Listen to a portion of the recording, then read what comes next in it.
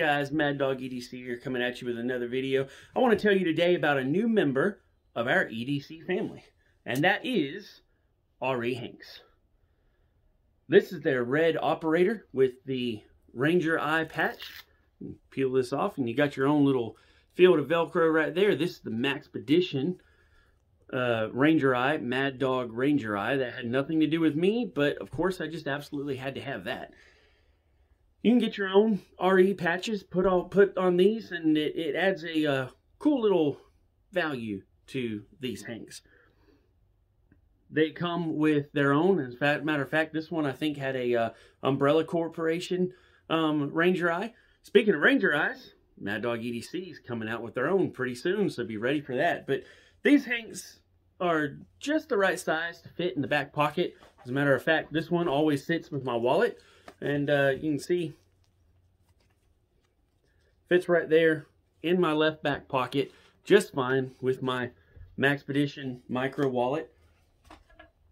Got a second one. This one is this is the one I normally wear for my formal carry. This is called the Gentleman Hank. It's got a cool little design on it right there. And uh, interesting thing on the back side of this, these this stitching right here is glow in the dark. So why do I carry these? You know, what's the point? Is this just pocket jewelry? Is there any real purpose to carrying this? Well, one, because we're, you know, out in the dust, out in the out in the water and everything with the irrigation job and all.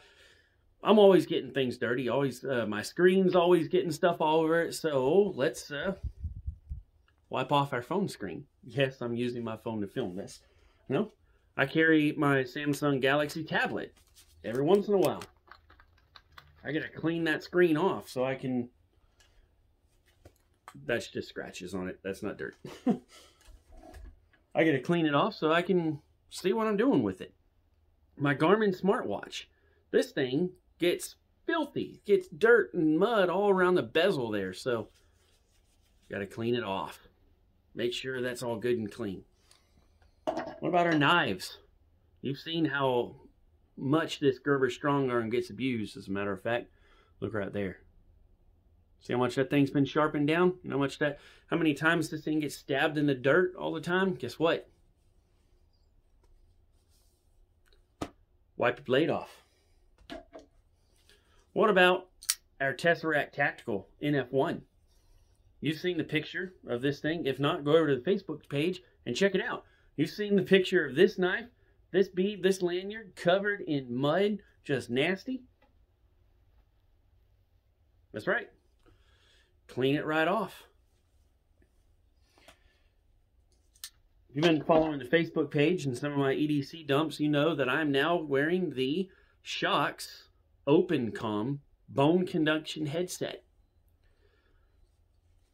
Clean those uh, pads off right there that sit right up against your ears because you know it gets sweat on it every once in a while.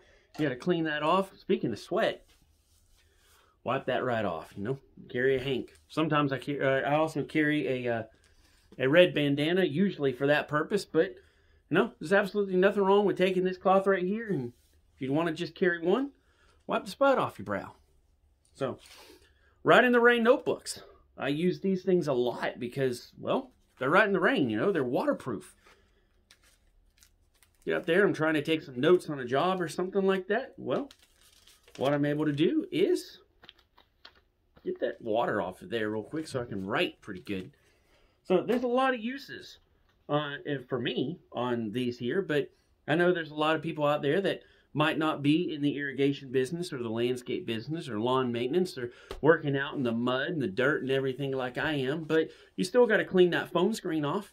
You're still going to have to take care of your smartwatches. Not everyone's wearing a Garmin, but maybe you got the Samsung, maybe you got the Apple Watch. Keep that watch on nice and clean. Your phones, like I said, your tablets, your laptops. Clean your laptop screens off.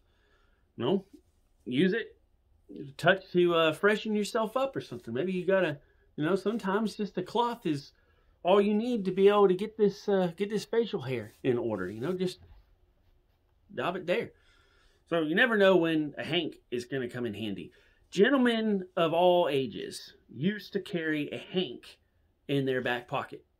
I've got a couple uh, uh, silk hanks that I carry with my formal carry. One of them belonged to my granddad.